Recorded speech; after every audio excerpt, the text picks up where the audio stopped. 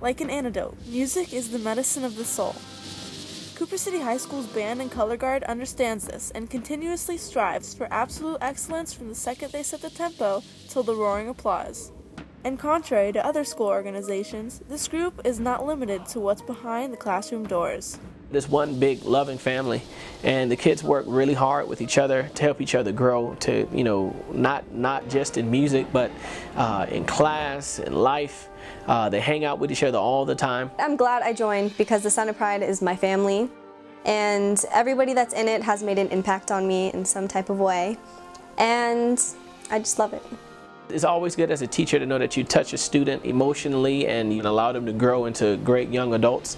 And no matter where they play, as long as they know that they have somebody that has cared about them and pushed them to become better uh, as a person, it's very, very humbling to do that.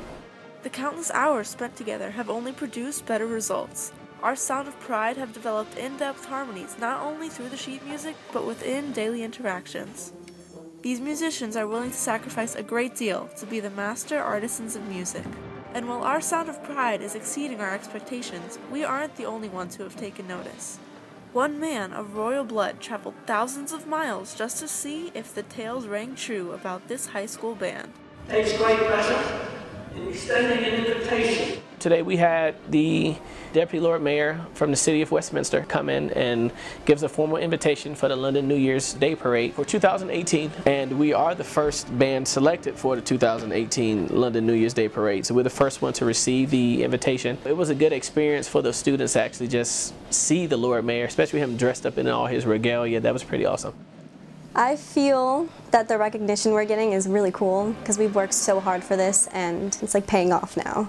To any passionate student, the goal is to be so good that they can't ignore you, to let your talents echo loud above the rest, even across the oceans. Our Sound of Pride is a prime example of what can and will be accomplished if you never stop working towards your goals. As we follow our cowboy marching band beat by beat, this has been Samantha Caldwell, CTV News.